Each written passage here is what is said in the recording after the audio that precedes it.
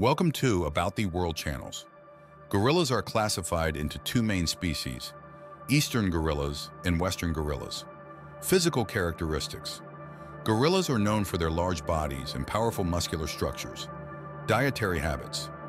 Gorillas have an herbivorous diet and mainly consume plants. Habitat and range gorillas typically inhabit forested areas. Social behaviors gorillas are social animals and usually live in family groups. Conservation status and threats. Gorillas face various threats including habitat loss, hunting, diseases, and illegal trade. Many gorilla species are listed as endangered by the International Union for Conservation of Nature, Conservation of Nature,